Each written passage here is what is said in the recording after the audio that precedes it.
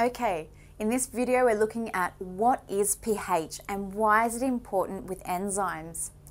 So pH is a measure of the acidity or basicity of a substance or a solution. Now, basicity, another word for that one is alkaline. So you may read this in your textbooks and all it means is basic. Most of the food that we actually eat is acidic. Now this here is a pH scale. It ranges from zero, which is very, very acidic, to 14, which is more alkaline. Seven is neutral. So the pH of seven is neutral and generally that's the pH of water. So our stomach produces very strong acids. That acid actually helps start to digest our foods. This acid helps us to digest, but also it kills harmful microorganisms that we eat from our food. Our blood has a pH of 7.4, that's, so that's quite neutral and very similar to water. One of the few foods that we eat that is basic is baked beans, and we all know the results of that you may produce a little bit more gas, and that's because of the effect that a basic food has on our digestive system. It doesn't mean that it's bad for us, it's still healthy to eat. Acids. Now, what are acids? They are substances that have hydrogen ions and they have a pH of lower than 7. So, on this scale here, pH 7 is neutral. So, 6 uh, all the way down to 0, 0 is the most acidic and 6 is only slightly acidic. On this scale here, urine is actually slightly acidic at 6. The more hydrogen ions, the stronger the acid. And acids taste sour. Now, in the laboratory, if you do get an acid on your skin, it's very important to wash it off, especially if it's a strong acid.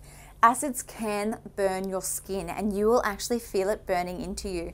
The best way to get rid of an acid is to wash it or dilute it with water. Examples of acids.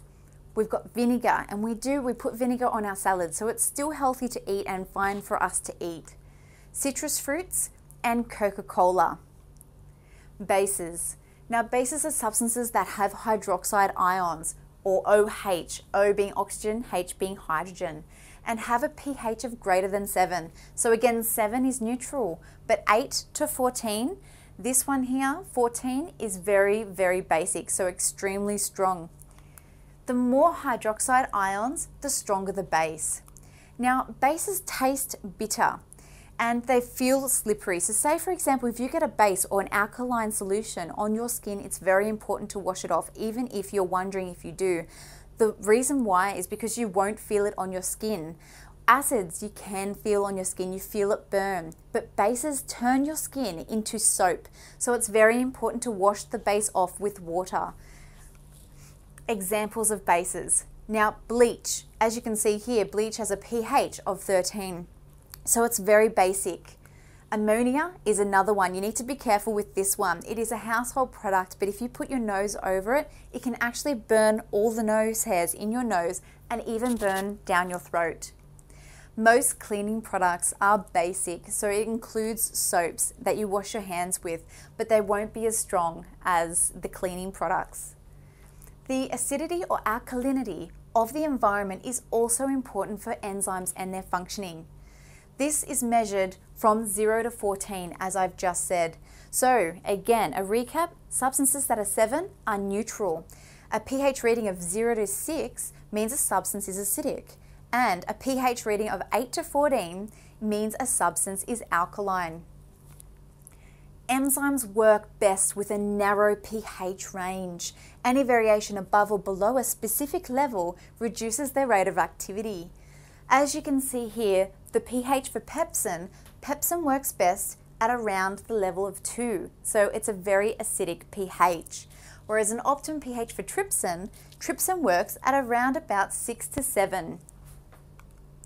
Levels of alkalinity or acidity outside the optimum pH for an enzyme have a similar effect to that of temperature change. They alter the enzyme's shape and therefore they alter the functioning of the enzyme. They will denature. Within cells, most enzymes function at or near neutral pH, but enzymes in the digestive tract function in an acidic or alkaline environment. So, This enzyme here may represent trypsin, uh, pepsin, sorry. This is because its pH is around about 2. Now this pink enzyme here may represent amylase. Amylase can work at around about 6.5 to 7. So the protein digestive enzyme rennin, which is found in gastric juice in the stomach, function best at a strong acid. Now rennin, you will probably use this in biology. Rennin's role in digestion is to curdle or coagulate milk. So what it's actually doing is in the stomach, it's turning a milk, a liquid, into a solid. The purpose of this is so that you're able to absorb all the nutrients in that solid. If it were to stay as a liquid, the liquid would pass through the body and you wouldn't be able to absorb the proteins and nutrients from the milk. A commercial form of rennin is called rennet. Now, that is used in manufacturing cheese. So, cheese is actually curdled milk. So, when you actually get milk as a liquid, you can add rennet, an enzyme, and it curdles milk to form a solid. And we can make cheese in the process. Pepsin is a very powerful enzyme and it digests proteins in the stomach. Now, it the proteins that it digests are meat, eggs, seeds, or dairy products, and it breaks them down into peptides. These peptides are absorbed from the intestine to the bloodstream or are broken down further by pancreatic enzymes such as trypsin. Pepsin is released in the stomach in its inactive form, so pepsin is inactive. With hydrochloric acid, which is released by the stomach, it's turned into pepsinogen. Pepsinogen is able is the active form and it's able to break down the proteins into the peptides. So its optimal pH is around pH 2. Why do you think this is? Have a think, press pause. The reason why its pH is around 2 is because the stomach's pH is around about 1.5 to 3. It changes and fluctuates. So the enzyme salivary amylase, which is in your saliva, it breaks down starch and its function is to best work in a weak acid condition. So its pH is around 6.7, so that's the weak acid, but it can also range up to pH 7, which is sort of neutral. The action of amylase on starch stops when the food passes into the stomach. This is because the low pH of the gastric juice actually makes it inactive. So the amylase cannot work or perform its function with a pH of 1.5 to 3 as the stomach is. Extremes of pH like temperature cause the enzymes to denature.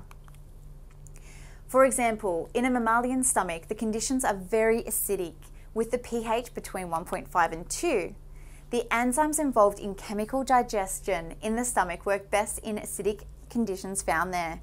These enzymes stop working when the food again moves through to the next stage, which is the small intestine.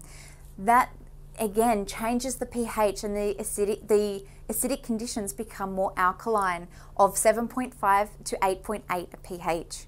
Okay, this concludes our pH and enzyme activity.